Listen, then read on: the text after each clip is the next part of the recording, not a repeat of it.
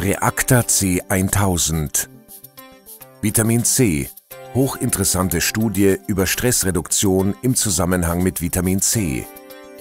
Wie viel Vitamin C braucht der Mensch? Es gibt eine Fülle von guten Gründen, sich bei Vitamin C nicht nur am unteren Rand des gerade noch Lebensnotwendigen zu bewegen, sondern eine Extraportion davon zu sich zu nehmen. Der Mensch hat die Fähigkeit, Vitamin C selbst herzustellen, auf dem langen Weg der Evolution verloren. Dagegen sind fast alle Tierarten imstande, es selbst herzustellen. Diese Tabelle zeigt, dass die Vitamin C-Produktion eines Tieres stark schwanken kann. Eine Ziege produziert bei schwerem Stress oder Krankheit sechsmal so viel Vitamin C wie in ungestresstem Zustand. Ein Kaninchen sogar bis zu 25 Mal so viel. Wenn man nun die Werte aus dieser Tabelle auf ein mittleres menschliches Körpergewicht von 70 Kilogramm umrechnet, kommt man zur folgenden Schlussfolgerung. Ein ungestresster Erwachsener müsste täglich 0,4 bis 3 Gramm Vitamin C einnehmen, um den gleichen Vitamin C-Status zu erreichen wie ungestresste Tiere.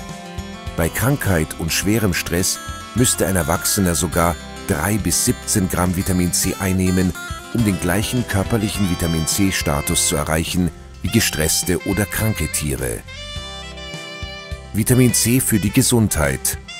Vitamin C ist an fast allen Stoffwechselprozessen des Körpers beteiligt. Für ihre Gesundheit spielt es deshalb eine zentrale Rolle.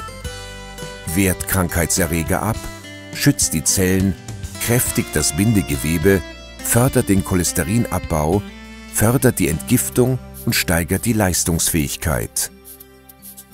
Mangelerscheinungen sind Anfälligkeit für Infektionskrankheiten, vor allem Erkältungen, Leistungsschwäche, Müdigkeit und Erschöpfung, Reizbarkeit, Störungen des Bindegewebestoffwechsels, zum Beispiel Hauterkrankungen, schlechte Wundheilung.